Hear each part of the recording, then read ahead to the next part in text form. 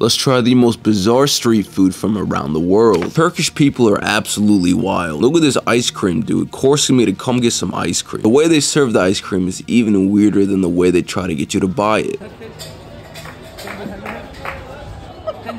India has some crazy good street food, but this right here, I cannot agree with. It's a pineapple cheese sandwich. And also, I think the dude just added mayonnaise to this thing, threw some butter on it, toasted it, and then called it a day. Also added ketchup on the side.